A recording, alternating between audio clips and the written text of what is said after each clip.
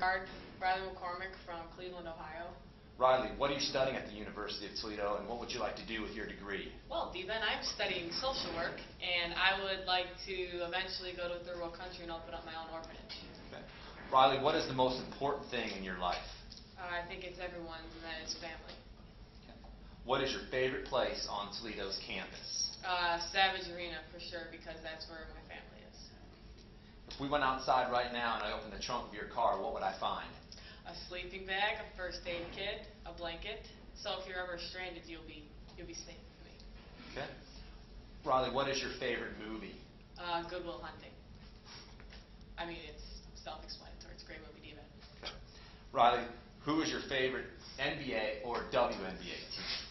Um, I don't really have one today, but if I had to pick one back in the day, it would be uh, the Celtics If you could have a superpower, what would it be?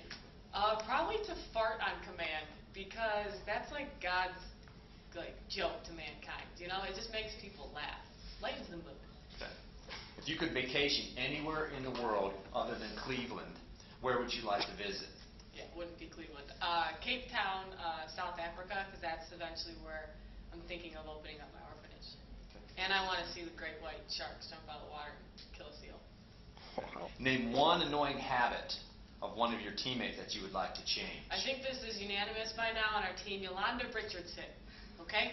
I've been sitting behind you for four years on the bus, and she does this cough. It's, okay? I want to.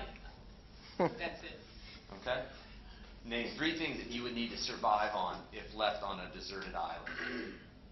Water, oxygen, and music. Okay. Final question, the tough one. Complete this sentence. Coach Cullop is. Addicted to Diet Coke. Thanks for your time. See you